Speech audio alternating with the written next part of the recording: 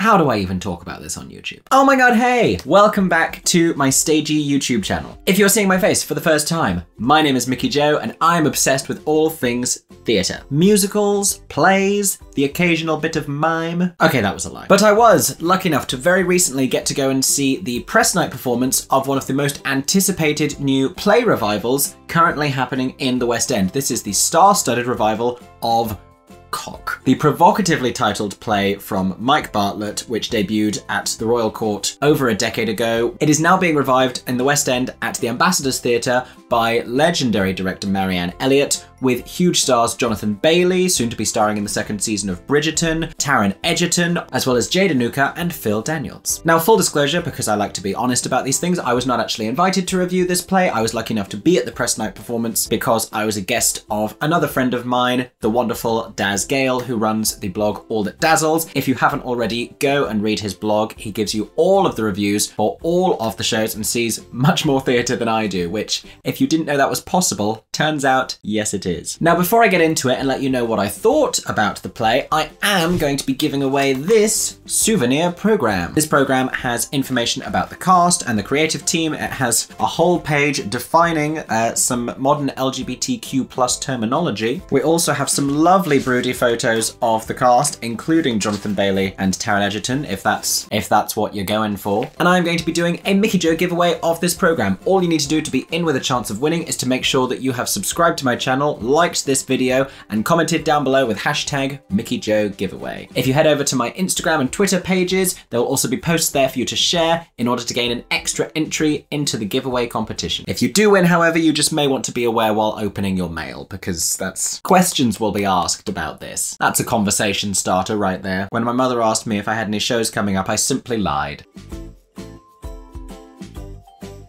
So I enjoyed this play, I really did. It's an objectively powerful piece of theatre. It, you know, it's written very well, it is performed incredibly, it is staged very capably. This is theatre done well. This is clearly writers and directors and creatives and performers at the top of their game, and it takes huge creative swings. However, sometimes, even when the work is objectively very good, you just don't connect with it as an individual, and I think this is much of what happened to me here, because I can't bring myself to give this play more than four stars. I felt like it had a lot of possibility that wasn't explored, and not all of the choices that were made creatively worked for me. I thought about giving this a three star. It's a low four for me. It would be unfair to call it a three, and that would only reflect my disappointment in hoping it was going to be this amazing blockbuster evening, because I have big expectations when it comes to the work of Marianne Elliott. So Marianne Elliott, if you don't know, she directed Angels in America at the National Theatre, also Warhorse, also The Curious Incident of the Dog in the Nighttime. I've enjoyed a lot of Marianne Elliott's work. I feel like right now especially, she's at the top of her game. I mean, she is the one who brought Patti LuPone out of musical theatre retirement. Hello. That kind of charity work should not go unnoticed. She's a brilliant, brilliant director. And I think this is still a very good direction here that some of the choices didn't pay off for me. And I don't know if perhaps I'm just getting bored of some of the tropey theatre things I keep seeing in plays. I don't know that we still need to have soundscapes with flashing lighting cues with actors going, oh, in between scenes and scene changes. And I don't know what value there is in having actors walk around each other and pretend to be touching when they're not and like do these sort of weird interpretive dance contemporary movement things in an otherwise very naturalistically acted play. I don't know that I gained anything from the entire play being staged within what looks like the inside of a jet engine. The entire set is just mirrored floors and walls and this one revolving door that kind of looked like you were entering Croydon IKEA and at one point spun so fast that the stage manager had to come on and grab it. And there's a turntable in the middle which is used to great effect. I mean, there's some brilliant moments in this play. Staging wise, I just don't know if I appreciated the fact that no one touched each other. I mean, this is a play about intimacy and about love and about relationships and identity and sexuality. And so much of that comes from believing the relationships that are being portrayed on stage. And it's very hard to do that when you don't let them touch each other. You know, it's really interesting to see a play that was written, I think, in something like 2008 or 2011. I should fact check myself on this. Oh, and the hardest part about this is you can't Google the name of the play, nor can you Google the name of the play followed by the word play because those are both different Google searches. 2009, there you go. So it's interesting to see a play that was written in 2009 have such a dialogue and have such a relevance with conversations that are really being had today and certainly weren't being had in 2009. The way that we have conversation about gender identities and about relationships that transcend sexuality and binary understandings of both gender and sexuality is very interesting. So in many ways ahead of its time. But at the same time, because of that, I think a lot of the dialogue that it presents and the discourse that it presents is to a certain extent dated and it feels like we've had much bigger conversations than the conversations being had in the play. It feels like it's knocking at a door that has long since been opened and everyone is already inside talking about the possibilities. Cock really only begins to ring the doorbell of the conversation around gender and sexuality. So I think it's fair to say that I was disappointed. So the performances are really what I want to talk about here because they are all noteworthy in their own ways. Let's start with Jonathan Bailey, who does not leave the stage during this performance. It's very much about his character. He is the only named character in the play, fittingly named John. So if you don't want spoilers, skip this next part. I'm going to give you a little bit of context as to his narrative in the play. So we meet John in a relationship with his boyfriend. It's a strained relationship. It is not perfect. This ends and he subsequently meets someone else. This someone else that he meets happens to be a woman and he has an unexpected connection with her and they then develop a very unexpected sexual relationship because he still identifies as a gay man. Jonathan Bailey is especially quirky as this character. You know, we meet him as someone very much in the throngs of an identity crisis and he describes being very different people when he's in the company of each of his partners and he portrays that duality very well. He is a rare breed of actor that can play comic and ridiculous that well and still have a seriousness and a charm and a sincerity to him as a more classical romantic leading man. So he's a really great fit for this play. It is not his fault that I hated his character. Oh, did I hate his character. And he was starting to grow on me because he is very endearing and he was really doing his best to try and make this person likable, but my god, especially towards the end of the play, he's just obnoxiously awful. you know, it's a bold move to make the lead of your play that odious. Taron Egerton I very much enjoyed. Specifically in the middle is where I really enjoyed his characterization. He had these fantastic barbs when he first gets to meet the woman in his boyfriend's life uh, because she's been invited over for dinner in this very awkward, very Harold Pinteresque dinner party situation. And the way that he greets her with nothing but utter camp contempt is brilliantly funny and just acidic in the best possible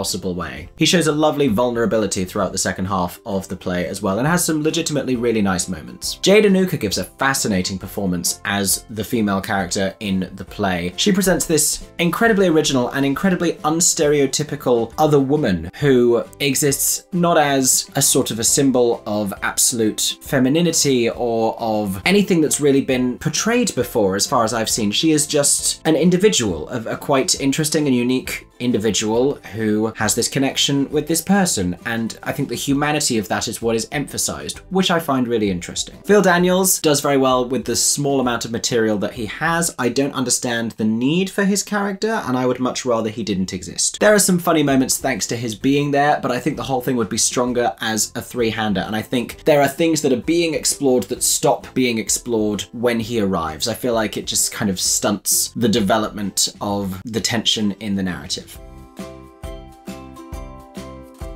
So the absolute highlight of this play is definitely this moment we get towards the end of it, where these four characters are having a very tense outdoor dinner party and sort of taking turns making big speeches, and the whole thing devolves into a cockfight hence the name of the play. We see them slowly turning around on this central turntable. It's a brilliant bit of staging. I love anything where a turntable is going to slowly turn for a long time. The insight that it physically gives you to the shifting perspective of the situation and the way that it forces you to check in separately with each of the characters and consider things from other perspectives. I mean, I don't know that you're meant to root for either of the relationships here. I think as it progresses, it's difficult really to want any of these people to have happiness. It's certainly certainly becomes hard to see why they're fighting over Jonathan Bailey's character. But that was very much my favourite part of the play.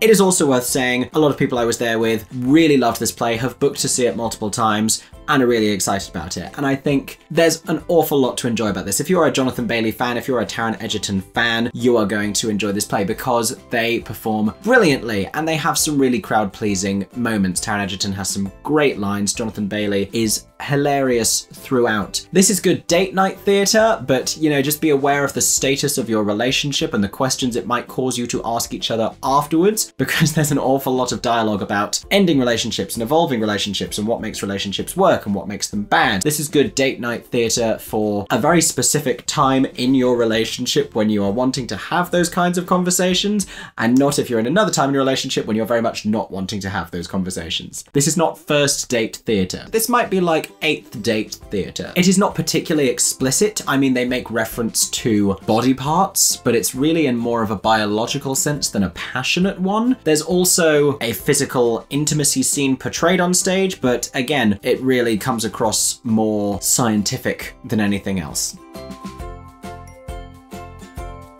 This was my first time going into the Ambassadors Theatre, and it is small. If I was to make a list of theatres that need some sort of an urgent redesign and remodeling of their interior, the Ambassadors Theatre is definitely high up on my list because the whole experience was a little bit claustrophobic. I just think rather than having a fairly unremarkable and tiny standard proscenium space, you could do something much more interesting with it and make it a more interesting West End located space for smaller shows to transfer from venues like the Southwark Playhouse, like other regional venues. Thank you so much for watching this video. I hope you enjoyed my review of this play. Don't forget to comment down below with hashtag Mickey Jo giveaway for your chance to win an exclusive souvenir program. Also, to read a completely different opinion of this play, head over to allthatdazzles.co.uk and read my good friend Daz's five-star review. He loved it very much. Go check out what he has to say. He worked very hard on those cock puns.